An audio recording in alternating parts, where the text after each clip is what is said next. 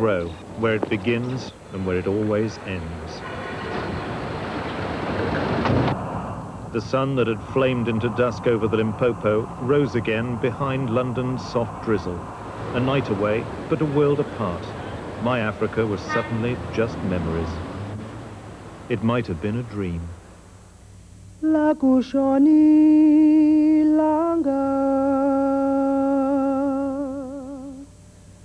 zakubuyi inkomo phesheya kolwandle lakushoni langa. Lakushoni langa. Zakubuyi inkomo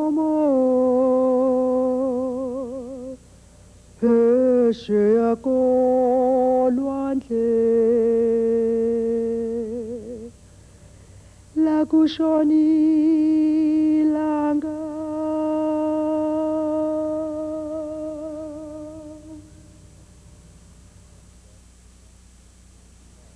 On May the 24th this year, I was expelled from South Africa.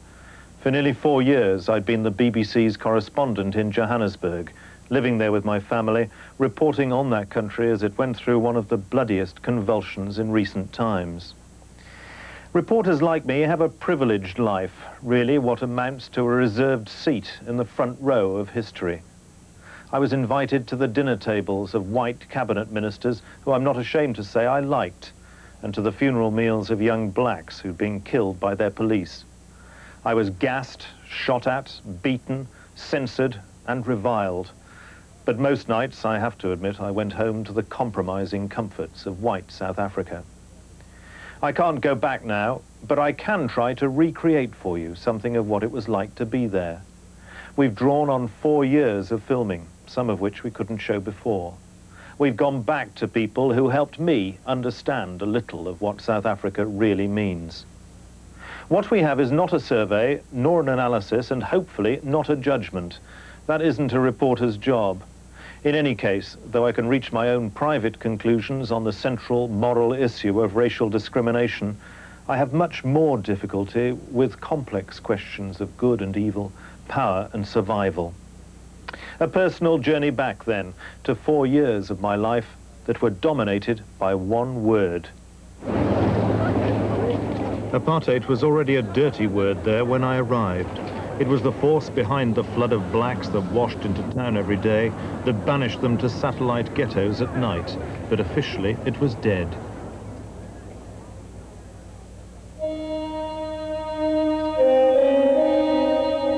For me, apartheid was a word written in emptiness. My town was one of the world's great cities, but how desolate it felt after the working day. Even the restaurants closed early, so their black waiters could catch the last train to Soweto. To stay the night in space reserved for whites was a crime.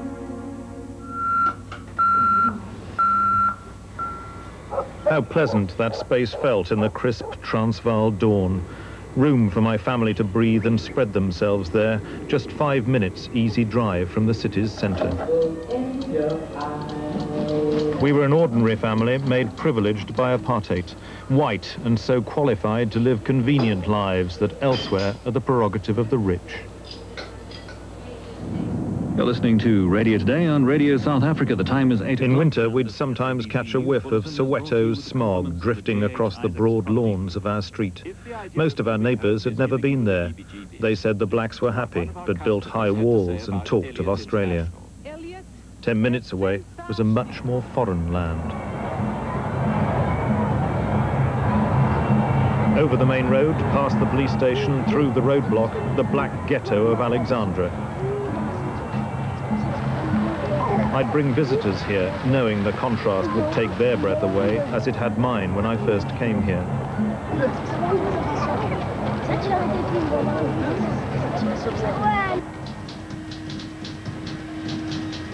To those blacks, our maid led an enviable life, snug in a white family's house. The law allowed her to live with us, but not her children, who had to stay in a homeland far away. She shared our lives, but remained a cheerful stranger, insisting on calling us Master and the Madam. Don't call me that, I used to say. No, Master, she always replied.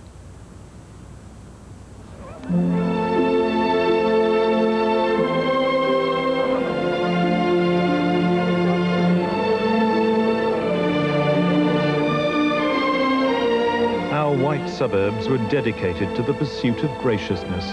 When our blacks were hungry, we didn't tell them to eat cake, we ate it ourselves. This banquet in aid of the starving was held with the country in a state of emergency, the townships in flames, and drought searing the black homelands. But there were more important things to talk about. And what are we going to wear? We've the total lines. They saw nothing at all insensitive about this glittering occasion.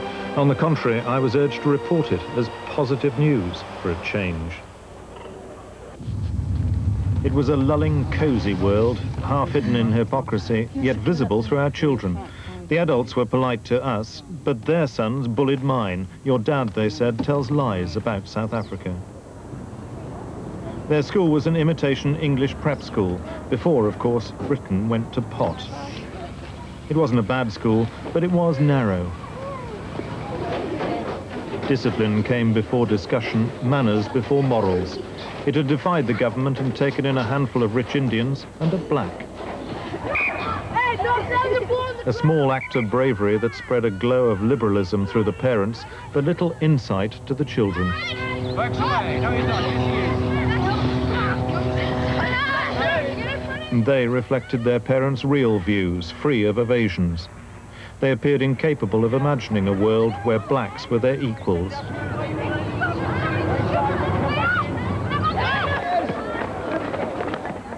In the townships, I saw their contemporaries leading much narrower lives.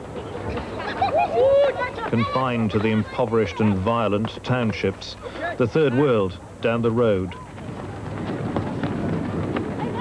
If the only blacks Simon and Roland knew were servants, the only whites these kids normally saw were policemen.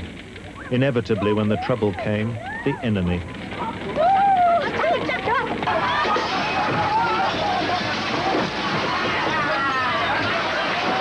I met black kids my son's age who saw themselves as soldiers in a revolutionary war. Uh, depends on the government. If they want to start the war, then they get a war. But what does the bitter end mean for you? Death, maybe. Viva Mandela, viva! My boys learnt Latin. Black children were learning the rhetoric of revolution. Viva Mkonda, viva! Viva!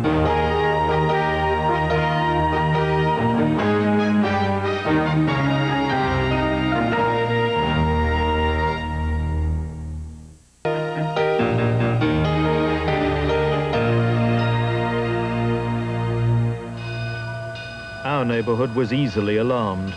That fear of black violation, of black revenge on our families, was never far from the surface. That these people enjoyed one of the highest standards of living on earth seemed to me no compensation. Rumours would spread that next Monday the blacks would come for our children. The police turned out in force, the schools laid on extra protection, many white kids were kept at home. Nothing happened. Everywhere we went, whites were afraid. In the Transvaal, the white Afrikaners that have voted Mr. Botha's National Party into power for 40 years are worried now. Black violence, international isolation, the reforms that have nibbled away at the institutionalized superiority of their race have made many yearn for the old certainties of apartheid. Alexandra may be quiet now, but this week's trouble, so close, has made Johannesburg's whites nervous. Security firms have been doing record business from white families, some of whom could hear the gunfire and now feel black anger is a real threat. Um, well, I've decided to put barbed wire down here and get a small gun. When I speak to my friends, they live in Fort, like little Fort Knoxes. And how do you think the situation is possibly going to progress in the next couple of months? I don't know, I've got a very good feeling. I think everything's going to come right. The big companies aren't taking chances.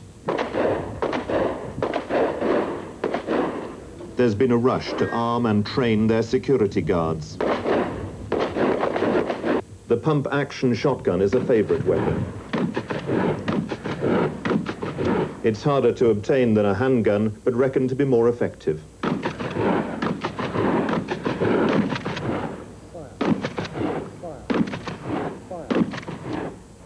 Were often trained to go for blacks. In one chilling incident near us, dogs killed a maid. The owners were soon swamped with offers to buy such good guard dogs. It was a terribly violent country. Brutal undercurrents flowed through the cultures of both races. It wasn't just apartheid that brought them to the surface. In Soweto, 25 domestic murders a weekend were routine. Most whites seem to have guns and few inhibitions about using them.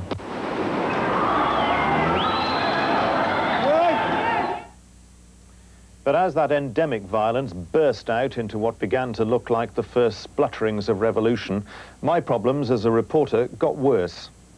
The first was plain survival in what amounted to no man's land. Reporters, and really much more so the camera crews, were constantly harassed and even shot at by the police, yet treated with suspicion by the township blacks, who would on occasion threaten to burn us to death. The second problem was ethical. For all its self-justifications, television news has a constant appetite for violence, accessible violence. Were we risking our lives to report significant news, or to provide a little vicarious excitement on a dull news day? The third problem was political. The pictures were tearing South Africa's image to shreds. Pretoria was determined to stop them. You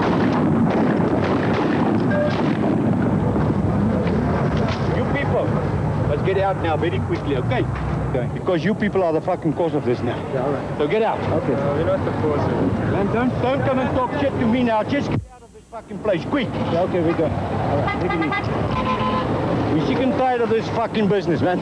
So just get in your, your vehicles and out of Soweto. I'm giving, I'm giving you half an hour to get out of Soweto. We were arrested. There appeared no legal reason. We were eventually released. An appropriate way to end a year reporting South Africa. But while the churchmen were waiting for another chance to enter the township, the police decided to act against reporters and cameramen. We were arrested and taken under armed guard to two police stations. There we were searched, notebooks were examined, and videotapes confiscated. We were held for two hours while lawyers contested the legal basis for our continued detention. Eventually, we were released without charge, but with the police still maintaining that attempting to cover a group of churchmen trying to bring peace to a troubled area was, in South Africa, breaking the law. Freedom of the press and of action. Yes, freedom. Yes, freedom of the press, and the press knows that I stand for freedom of the press. But what I don't stand for, I stand for a responsible press. by taking photographs and taking television films which they sent overseas to besmirch the name of South Africa. That is not freedom of the press.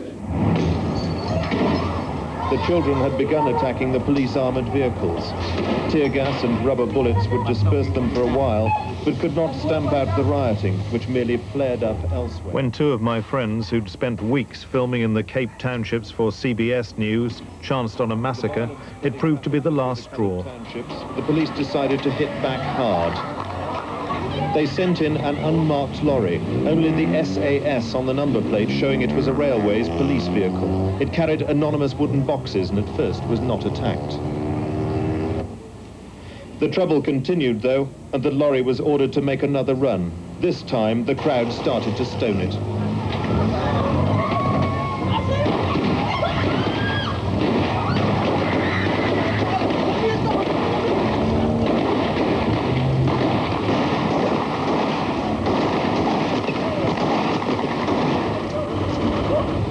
At least three coloured youths were killed outright before they could take cover. This demonstration at the University... New emergency laws made reporting protest, and certainly the police response to it, punishable by up to 10 years jail. The courts overturned those laws, but the government was past caring. When we filmed this next sequence of police brutality, I was expelled.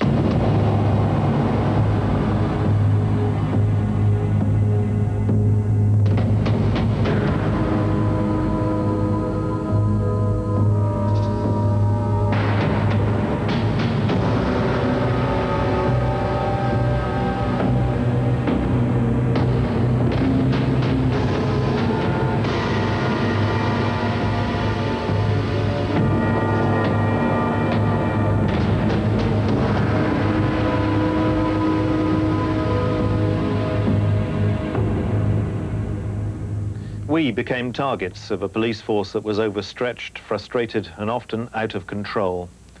One day I was calling London from the front room of a friendly coloured family down the road from what had become a routine confrontation. A policeman ran up and fired a tear gas canister straight through the plate glass window at me. It burst right at my feet and in that confined space it was absolutely devastating. All I could do was throw up all over the carpet. That sort of thing happened often, but on the whole I was lucky. One of my friends, a vital and brave cameraman, was butchered to death, and several others were injured. I've seen a lot of violence. I don't find it exciting. It makes me feel sick, it makes me feel empty and dispirited. As a young reporter cultivating cynicism as a substitute for experience, I imagined that violence and human misery were things you became hardened to. But it actually upsets me much more now than it used to. It disturbs me that violence is often glamorized in television fiction and made to appear free from consequences. But I find the way that we tidy up real violence, the way we sanitize it on the news, very worrying too. I can understand why, but it is a violent world. And to understand it, just occasionally grown-up people lucky enough to live sheltered lives should have an opportunity to appreciate what it's really like.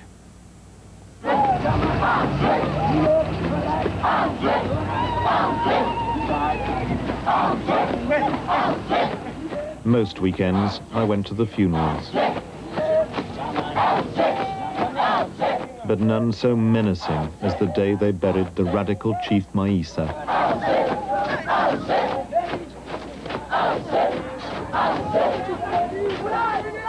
Knives were out for his killers, a black gang which normally seemed to have police protection, but not that day. I followed the mob as it chased one of the gang home.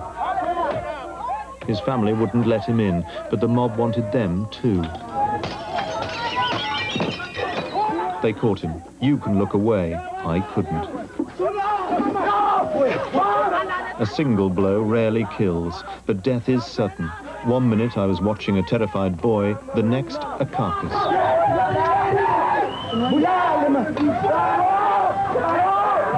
We knew to interfere would mean death, yet standing there, witnessing them kill, was perfectly safe. I knew the moment he died. I felt the spirit dissolve from his body. It wasn't just murder, it was revenge, the most depressing thing I've ever seen. More than violent death, the evil soul of man.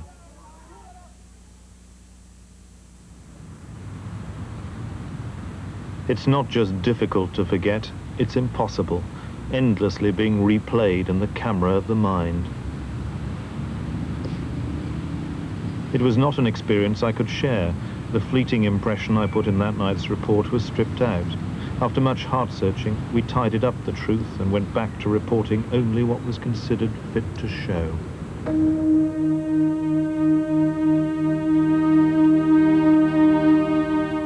That itself was full of the primal passions of man.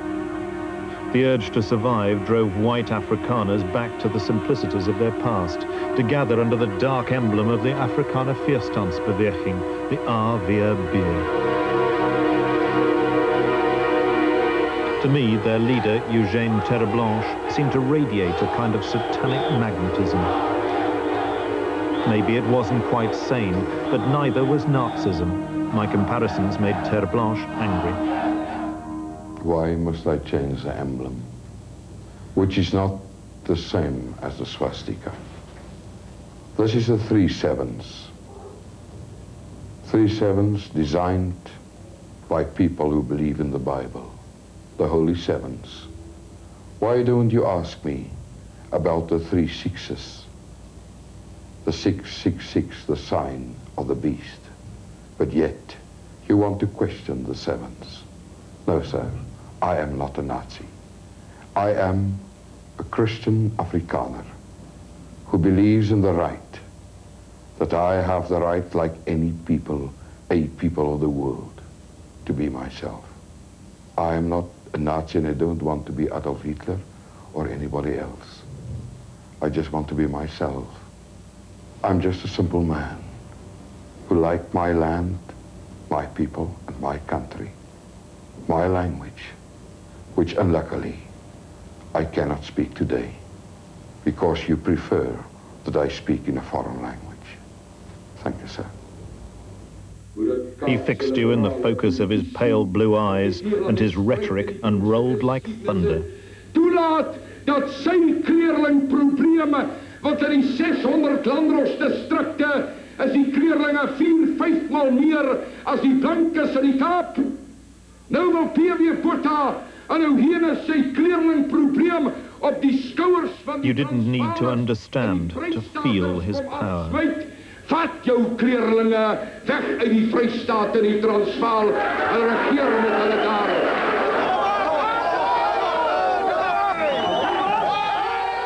He was the dark messiah of the white folk, but this was a land of messiahs. Each people had a cause, each cause a rhetoric, each rhetoric a voice to move men's souls. Such was Dr. Allan Boesak. He may have had his flaws, but he spoke with the rhythm of hymns.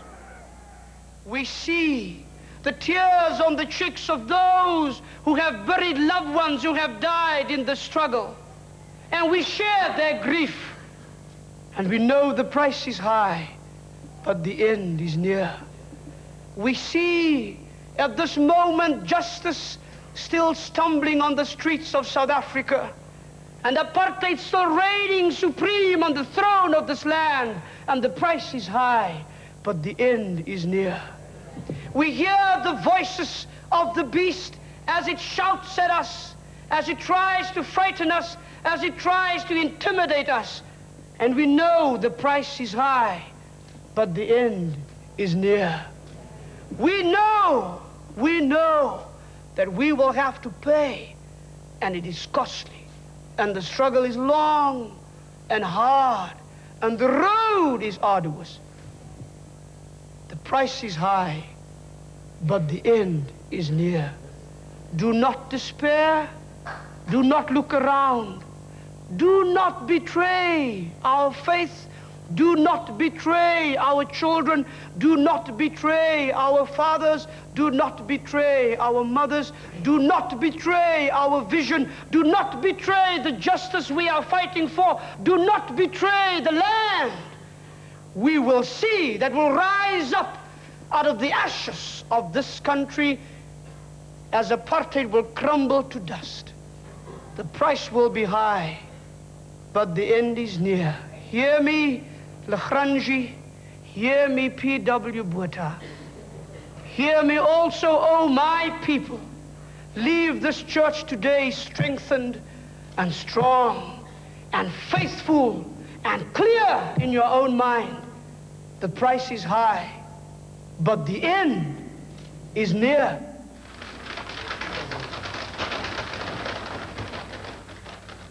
I was given 10 days to leave the country. The price for South Africa had indeed been high, but the end didn't seem any nearer. Thousands had died or been imprisoned without trial. Reform had been replaced by repression. Hope had turned to fear. But it wasn't over. The young black comrades have a slogan to dismiss every setback, every brutality. A misquotation from their jailed leader, Nelson Mandela. There is, they say, no easy road to freedom. In the end, I left South Africa feeling pretty depressed.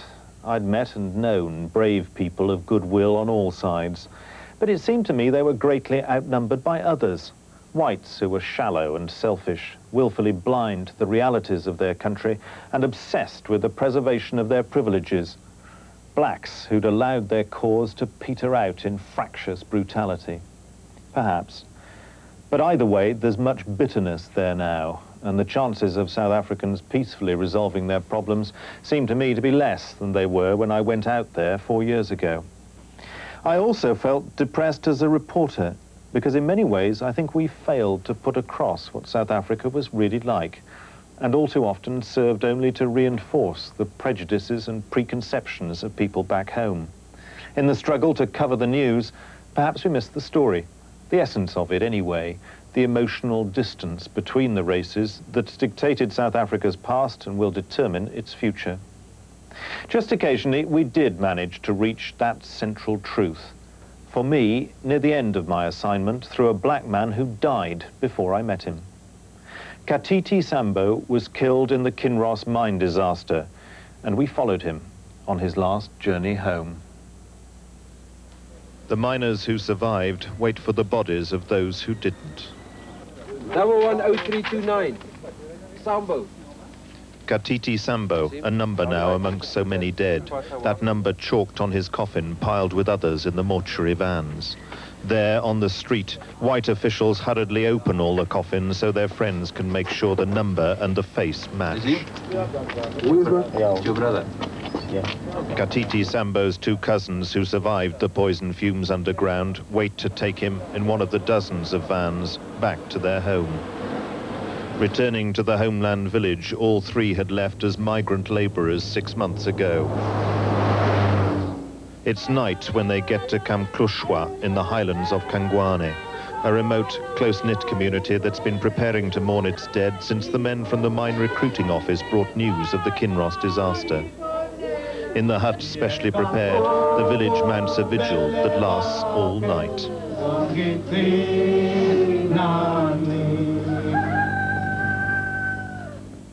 This was Katiti Sambo's home before he left his wife and this traditional African community to live in a compound in the white man's mines.